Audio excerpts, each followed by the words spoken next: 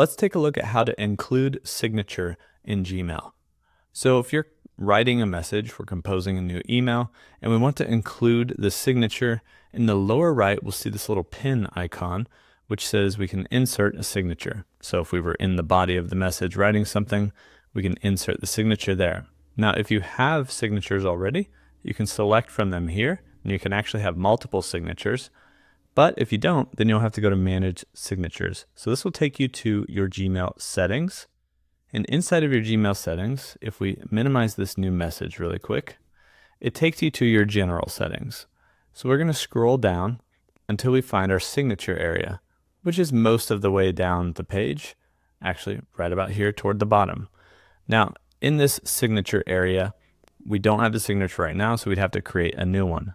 We can click create new and give this signature a name. So maybe this is just a personal signature, not a work signature. We could create this one.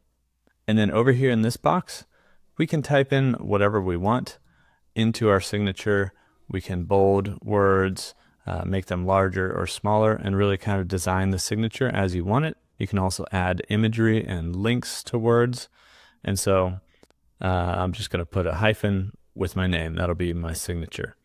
Uh, and you can also design signatures in other programs like Google Docs, for instance.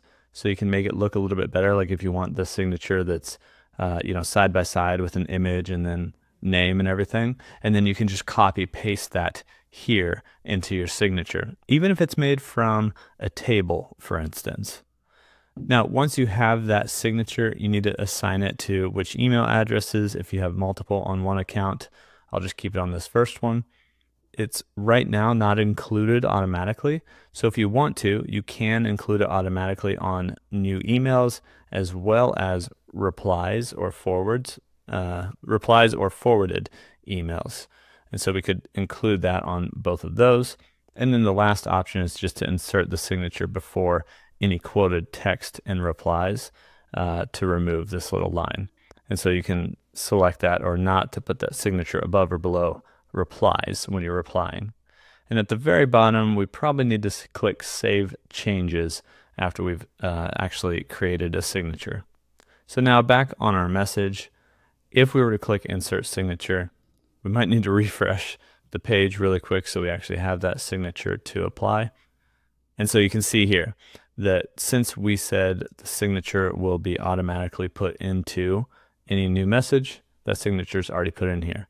And if you wanted to change the signature, you can click here and just select the different signature that you want that you've created or even no signature, just like that.